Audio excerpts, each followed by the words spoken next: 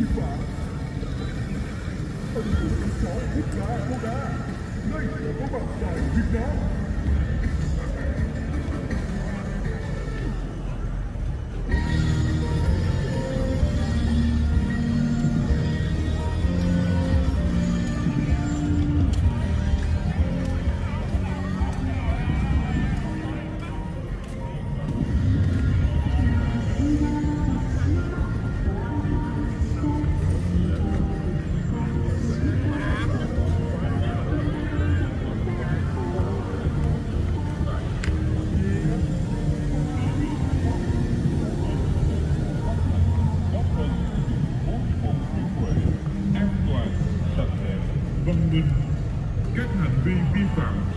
xử lý nghiêm theo quy định của pháp luật.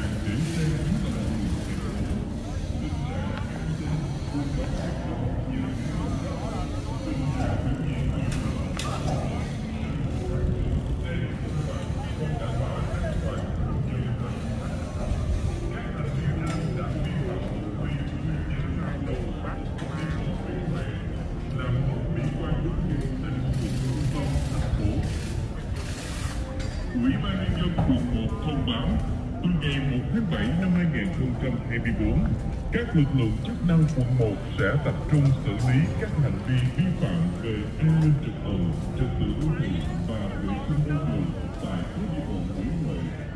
Đề nghị các tổ chức cá nhân